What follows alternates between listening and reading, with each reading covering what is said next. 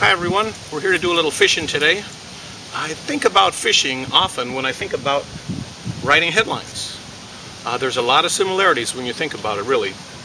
We have all kinds of people and audience out there in the stream, and it's our job to try to catch them with the material we have for them the stories, the pictures, all our content. So, how are we going to get what's in the stream to notice what we have for them? Well, one of the things we do with our headlines is we try to entice them. Here's one.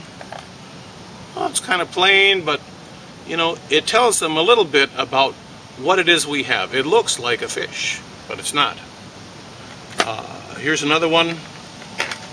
Also kind of flashy, a little bit of orange on there, meant to attract their attention. A headline writer, when you get right down to it, has, oh, there's one a headline writer has a lot of tools when they're trying to attract somebody to a story. You can use uh, very strong verbs. Those are the engines of good headlines, I think. You can use colorful nouns. You can use surprise. You can use mystery. Uh, you can use just sheer amazement uh, with a really great news story. Tell people what's going on, and they'll they'll bite. Now, a good headline is meant not just to attract the eye, it always has a hook on the end. Can I get that reader to go beyond the headline into the lead on my website, my magazine, my newspaper?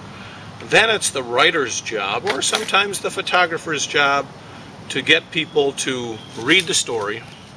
But as a headline writer, it's my job to use one of these fancy lures to get them in there. A fancy lure can't be misleading.